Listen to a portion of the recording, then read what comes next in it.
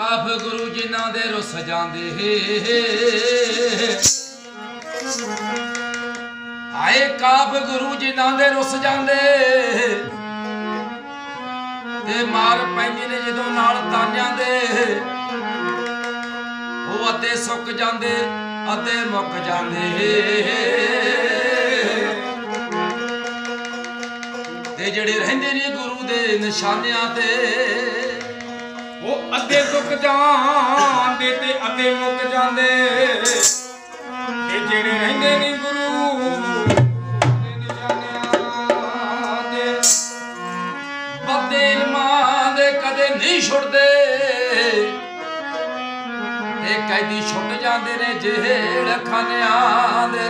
ਉਹ ਬੱਦੇ ਇਲਮਾਂ ਦੇ ਕਦੇ ਨਹੀਂ ਛੁੱਟਦੇ।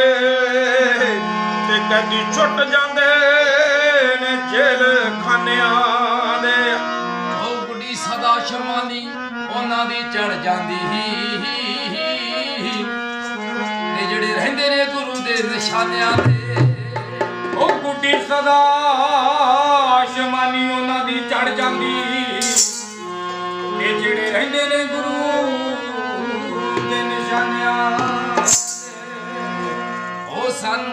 ਇਲਮ ਸਿਖਾਉਣਾ ਜੀ ਮੌਜ ਫਕੀਰਾ ਤੇਰੀ।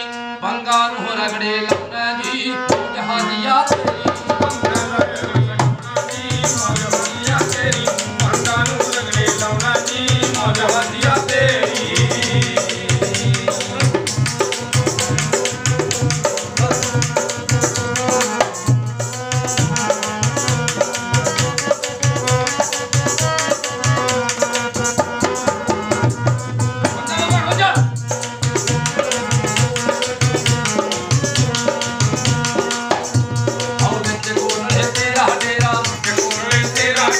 ਘੁੰਮਣ ਲਾਉਣਾ ਤੈਨੂੰ ਕਿਹੜਾ ਦਾ ਭਗਤਾਂ ਦਾ